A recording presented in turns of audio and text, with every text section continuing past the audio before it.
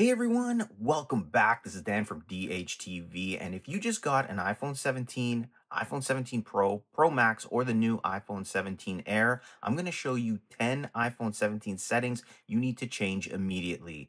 These hidden features will boost your battery life, improve your privacy, and unlock powerful iOS 26 tricks Apple doesn't tell you about. Let's get started.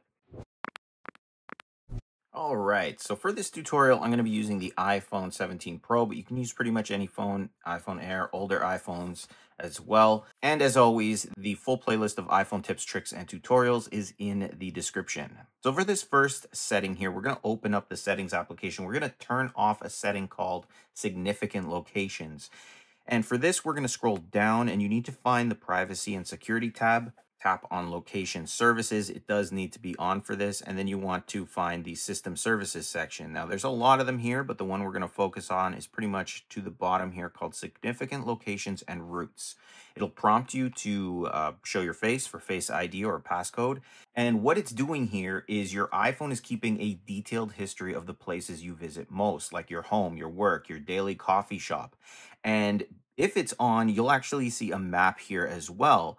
So what you want to do is clear that history first off here, clear it out, and then you would want to turn it off right here. And you can read right here, it is going to affect certain things. And although Apple says it is encrypted, it still means your phone is logging everywhere you go. So disabling this increases your privacy and can save a small amount of battery life. So for my personal preference, I have significant locations turned off. The next iPhone 17 setting we want to turn off is the app tracking. So we're going to open settings again here and we're going to scroll down to the privacy and security section once again. Tap on the tracking and you want to disable the allow apps to request to track. When this is on, apps are going to ask permission to track your activity across other apps and websites to serve you targeted ads. So with this setting off, apps can't follow you around the internet. That means fewer of those creepy personalized ads, less background data is collected, and better overall privacy protection. So if you ever wondered, wow, I was talking about something or I went by somewhere, I was just at that store and now I'm getting ads from that store, it could be because this setting was on and it knew that you were in that area. For this next iPhone 17 tip, we're gonna open up our settings and we're gonna help to keep your battery healthy for a long time. So we're gonna go to the battery section here and we're gonna scroll down to the charging tab. Now you wanna have either optimized battery charging turned on or what I do, which I feel is even better, is to set this range here to go to either 90% or 85%. I personally am going to keep it at 90% because by default, Apple has your iPhone charging to 100%, which does stress these lithium ion batteries that are in these phones over time. So on the iPhone 17, 17 Pro, all those phones, you can cap the charge at 85 and 90. And by doing this, you'll extend your battery's lifespan so it holds its charge longer after months of use. This is especially important and perfect for people who are planning to keep their iPhones for two or three years because your battery health won't drop as quickly. And if you are going to go to 100%, ensure you have this optimized battery charging on. You can see right here what it does.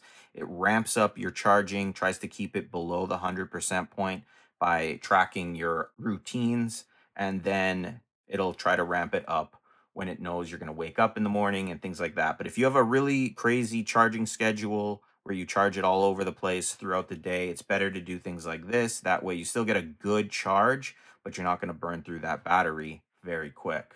The next tip is in settings as well, and this is going to change the airdrop settings to contacts only. If you've never used airdrop, it's the ability to transfer and receive files through other iPhones that are close by, and it's a great feature. I use it all the time. So we want to tap on general, we want to tap on airdrop, and you either want to set it to contacts only or receiving off.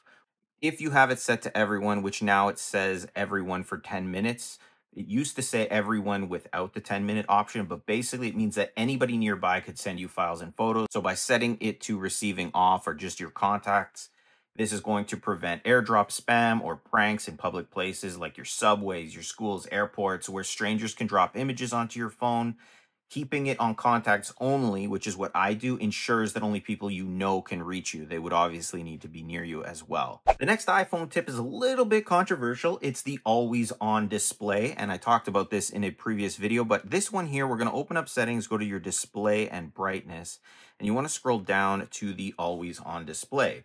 Now this is a nice feature in my opinion, and what it does, it keeps your screen dimly lit with time, widgets, and notifications even when it's locked. I think it looks classy. A lot of people don't like it and a lot of people do. But if you turn this off or customize some of these settings, it'll save your battery life, especially in overnight situations because having the screen on overnight is going to reduce the battery life and health.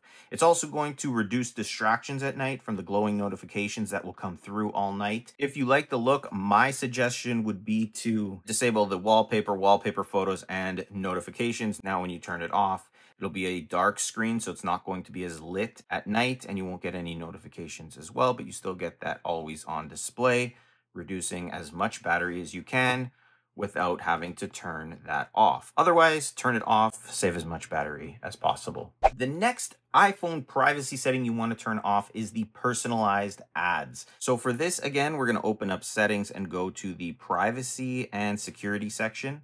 You want to scroll down and find the Apple advertising section here. I believe it's right here and you want to make sure that personalized ads is turned off. If you have it on here, Apple is going to use your App Store downloads, news, and stock usage to target ads to you. Why you'd want to turn it off is while Apple's ads are less aggressive than others, it's still tracking your behavior. Disabling this gives you generic ads instead of ones based on your personal activity. Again, it's keeping your data more private and out of other people's hands. The next iPhone Air tip here is a simple one, but an overlooked one, and that's pulling down the control center from the top right and customizing it. So for example, if you tap and hold here, you'll be able to move these controls around. You'll be able to tap, add a control, and you can go through all the different controls you have on your iPhone, and there are a ton of them. You can search for them. You can add them in. For example, if you wanted a dedicated dark mode option, if you wanted a, for example, camera, you can add that in. Customizing these and adding them here will save you time and taps. For example, I added in the dark mode button there. So now I can just tap it and my dark mode is on. So if I open settings, we see it like this. If I tap it again, my settings go back to light mode and all features will go back to light mode as well. Customize it. Once it's set up, you're not going to have to dig through menus. It's only one swipe away to get your favorite controls quickly with a tap. This next iPhone tip involves your Face ID security. And for this, we're going to open the settings here again, and we need to find the Face ID and passcode section. It's going to prompt you to enter in your passcode. So go ahead and do that. And you want to scroll down here to require attention for Face ID. Now, what it does is it ensures that your eyes are open and looking at the phone. You would want to change this because it prevents someone from unlocking your phone while you're asleep or not paying attention. Adding alternate appearances also makes Face ID more reliable with hats, glasses, or masks, so you get security plus convenience there as well. So you can add those here, but basically, if you have the require attention for Face ID, have that on. It gives you a little bit more security when unlocking your phone with Face ID. The next iPhone tip is going to give you more customization and personalization with your iPhone, and it'll help if you have other preferences. For example, to change your default browser or your email app. So for this, you're going to open settings again here, and we're going to scroll all the way to the bottom to apps. So we're going to change the default browser first. You would need to have it installed on your phone. So for example, I have Chrome installed here. We can tap on it and you'll see at the bottom, it says default browser app. It says it's Safari. If you prefer Chrome, if you prefer DuckDuckGo, if you prefer Firefox, whatever it might be, you'll be able to choose it. So you have to find that app in this section and choose it. And the same goes for emails. So now that we have Chrome set as our default browser, whenever we open up links, it'll open in Chrome rather than Safari. The same goes for emails. So if you had a different email client that you preferred, you can go to it. For example, Gmail here. We can go down here. You can see default app is the standard mail app on the iPhone. If we prefer Gmail, we could set it to that as well. And you can use any mail service that you'd like, whether it's Outlook or whatever there is. And this is going to give you a more consistent workflow across your devices, especially if you use Windows or Android's devices at your work or with your other projects. It'll be more consistent while you're using it. For this next setting, I'm going to show you how to turn off the raise to wake feature, which basically when your iPhone is locked, all you have to do is raise it and you can see it lights up and you'll be able to see your notifications and things that pop up unless you have them enabled. Now, while it is a convenient feature, it does drain the battery and sometimes it unlocks your phone accidentally if you keep your phone in a bag or pocket. So disabling this is going to avoid unwanted wake ups and saves your power. So for this, we need to go down to the display and brightness settings here, and we're gonna scroll down till you see raise to wake. For this, we're gonna turn this off here.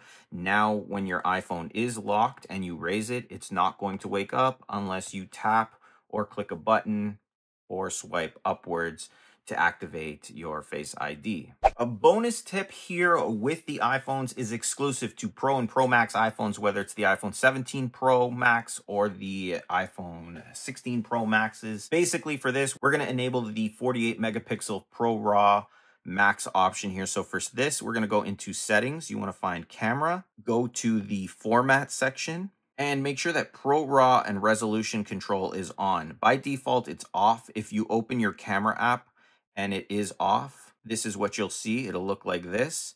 You won't have an option to choose from that up there, but if we turn it on in settings, we'll just close out the camera and open it back up.